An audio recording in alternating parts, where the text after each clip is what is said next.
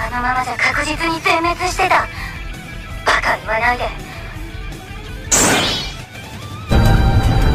今こうして俺の前に。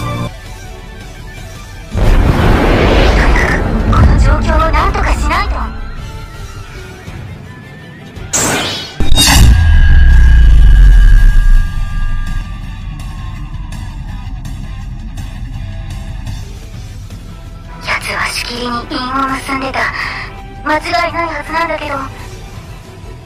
どうやら俺はついている。さっきの里にはがっかりした。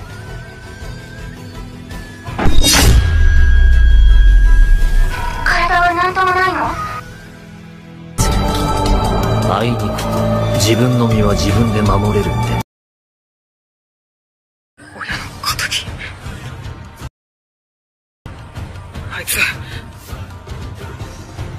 はいつだって死ねる。常にその覚悟があ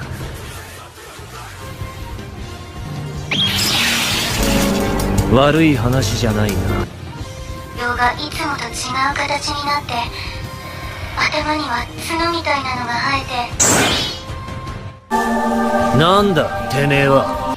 悪い話じゃすぐに支度して。10分後にアウンの門に集合